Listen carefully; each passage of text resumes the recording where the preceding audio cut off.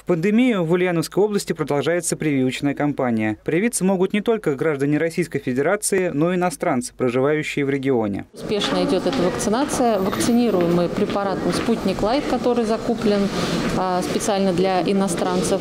Это могут быть иностранцы не только студенты, это могут быть и а, работники любых организаций, которые не являются гражданами Российской Федерации. По словам врачей медучреждений, иностранные граждане приходят прививаться ежедневно. За последние полтора месяца во второй поликлинике вакцинировалось 545 человек. Гульзар Исаева – гражданка Узбекистана. Сейчас учится в Ульяновском аграрном университете. Все родные девушки уже привились. Героини уверены, что вакцинироваться и сохранить свое здоровье просто необходимо.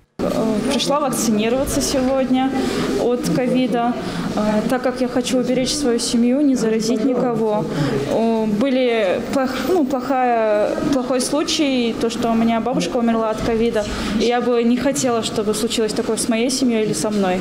Для вакцинации иностранных граждан в медучреждении имеется тысяча доз вакцины «Спутник Лайт». Для жителей Ульяновской области, не имеющих российского гражданства, процедура проходит каждый день на платной основе с 12.00 до 14.00. Кроме того, сегодня в поликлинике номер два для людей, переболевших коронавирусом, проходит диспансеризация. С недавнего времени для тех, кто перенес болезнь в сложной форме, доступна углубленная диспансеризация, которая включает в себя дополнительные обследования пациентов.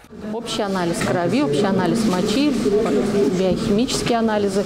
Проводятся определенные исследования, тест шестиминутной ходьбы. И там уже, если тяжелая степень а, ковидная инфекция была, то там дополнительные методы еще есть, в том числе спирография, если нужно КТ-исследование и дополнительные исследования э, к узким специалистам. Углубленная диспансеризация проводится совершенно бесплатно, достаточно обратиться к участковому врачу и получить направление.